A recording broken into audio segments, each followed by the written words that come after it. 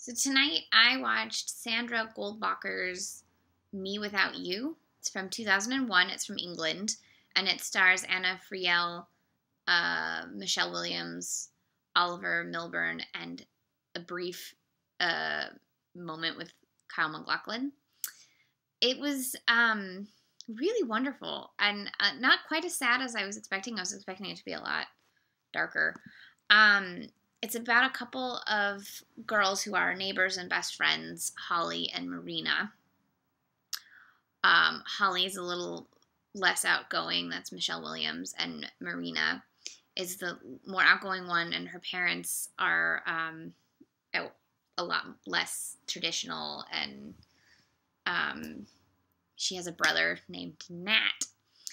Um, and from forever, from what you're told, you can see from the film, um, the Michelle Williams character is super in love with her brother, with her friend's brother, um, which causes strife between the two of them throughout the film. But it's not really about him coming between them so much as a dangerous codependency that the girls have with each other. Um, one where the one girl builds herself up by bringing the other girl down, and the other girl holds herself back by listening to the to her one friend, and it's it's a really sad um, cycle that a lot of people get into. I I can't speak for sorry my eye. Ugh, ah, okay, I can't speak for dudes, but I know that as a girl, I definitely was in a friendship like this. Uh, luckily, our our friendship it was only really bad early in high school, and then it it sort of became less toxic and very healthy as as we grew older. But in this film, um, it just continues getting worse and worse, and till the the end. Um, Michelle Williams is such a good actress. She's just like, oof, She's got some of the most like emotive eyes I feel like that have ever been on the screen. Um and oh my god, okay, so two things. One, Kyle MacLachlan is like a real creep in this. He in the the third part of the film when they're in university, he plays the um, professor that they're both stooping, and he's such a creep. He's such a creep, and I'm like, girls, don't fall for this creep. And they both fall for it. Um, and then two, the guy playing Nat, who I'm not actually sure if I've seen him in anything. It's Oliver Milburn.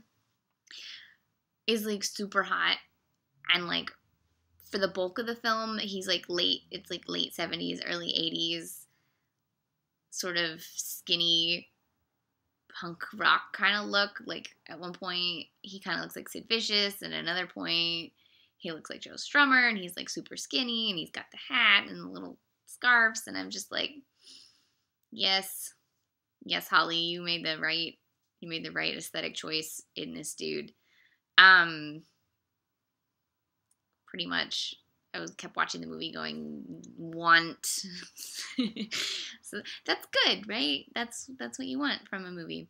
Um oh young Marina who's the young version of Anna Friel's character is Anna Popplewell from the Lion the Witch and the Wardrobe and I think the mom of them is um yeah the mom is Trudie Styler who is uh in my mind best known as Sting's wife who wears terrible dresses to the Oscars. That's all I remember her from. Um, oh, and uh, Wickham from the 1995 Pride and Prejudice shows up towards the end of this movie also. Uh, that actor's name is Adrian Lukis, but he will forever be, for most of us, Wickham. Nobody likes Wickham. Uh, so,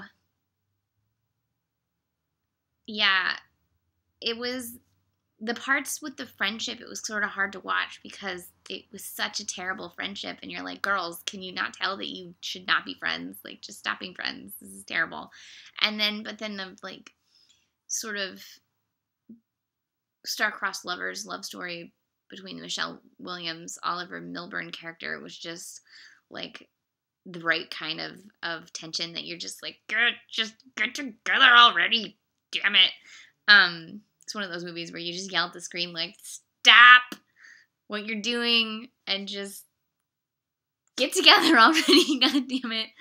Um, that kept the movie going, you know. Uh, I watched this on Starz.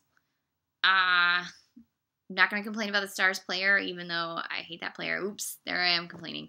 Um, so you can watch it on Starz Play. Again, it's from 2001, and it's Sandra Goldblocker's Goldbacher's uh, Me Without You, starring Michelle Williams and Anna Friel. And I quite liked it.